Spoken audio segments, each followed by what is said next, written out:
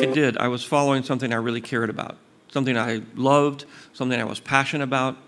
And I kept following that passion, whether it was cars, whether it was anthropology, uh, whether it was art, um, photography. Um, and eventually it led me to my huge passion, my real passion, which was making movies, which combined all of those things.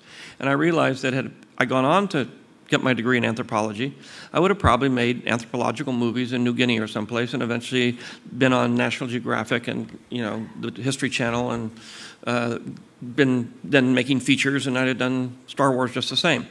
If I'd have gone to Art Center and become an illustrator, I would have probably started doing animation and doing animated films and making animated things, and then ultimately I would have gone on and been right where I was. So no matter which route I took, because I cared about all of them, they all led to the same place. Had I done what my father had wished me to do, which is to go into the office equipment business with him, which I knew I wasn't going to do, I knew I hated that, my life would have been unpleasant.